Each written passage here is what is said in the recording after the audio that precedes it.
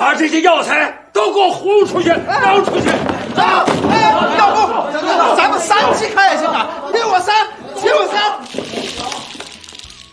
远在沧州的一笑堂院内已经满是枯叶，赛西施站在院内，看着掉落在地的一笑堂牌匾，触景生情。而京城一笑堂内，喜来乐正在给病人瞧病，德福进来跟他说要把孟庆和死皮赖脸的要进来给他道喜，拦都拦不住。随后，孟庆和笑盈盈的走进来，为表诚意，他还特地带了一些名贵药材送给喜来乐，还不死心的再次提起要和一笑堂合作的事。喜来乐才懒得理这个奸商，直接将他轰了出来。赛西施见到从京城回来的药商陈老板，连忙向他打听喜乐的消息。陈老板把自己在京城听到都告诉了西施，说喜来乐在京城开了一个大医笑堂，生意特别红火，还说到喜来乐老婆的打扮也洋气了，还听说他们有要孩子的打算。听到这里，西施脸上十分不悦，隔着屏幕都能闻到一股子醋味。随后陈老板说想吃赛西施亲手做的狮子头，西施便去后厨忙活了。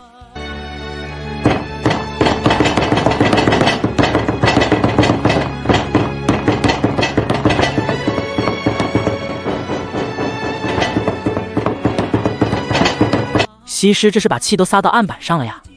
来到京城的胡氏最近发现自己的肚子老是鼓鼓的，胃口也变大了，还老是喜欢吃酸的，以为自己是怀孕了，于是把这个好消息告诉了自家老头。喜来乐听了后高兴的合不拢嘴，随后还给夫人摸了脉象，却发现没有怀孕的迹象。怎么摸不出来啊？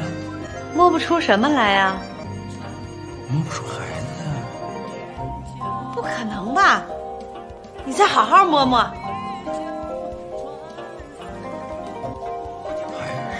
摸不出来啊只是长胖了而已，还让德福给师娘抓去肚子里有水的药吃。胡适听到这里，掩面哭了起来。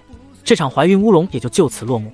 自打一笑堂在京城开业，每天来找喜来乐看病的人是络绎不绝。一笑堂的门口每天都排起了长队，被喜来乐治好病的人敲锣打鼓的送来了牌匾，以此来表示感谢。大家纷纷称他为神医。太医院里的太医们也在讨论喜来乐的医术，大家对他的这些奇招怪法都觉得很新奇。王太医听到后气的眼珠子。都快瞪出来了。回到家里的王太医开始埋怨卢中，嫌他太笨太蠢。随后两人又开始想法子如何解决掉喜来乐。自从杨医生史密斯见识到中医的神奇，便一直想着要让中西医碰撞一下。于是托鲁证明邀请喜来乐到他的诊所，想向他展示展示西医的厉害。三人刚到史密斯的诊所，洋人就给他们端上咖啡。德福先是端起来喝了一口。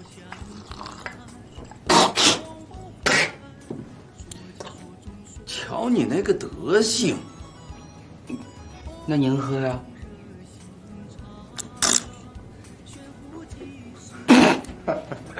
这是咖啡，来，放点糖味道就好了。是糖？对。德福，来，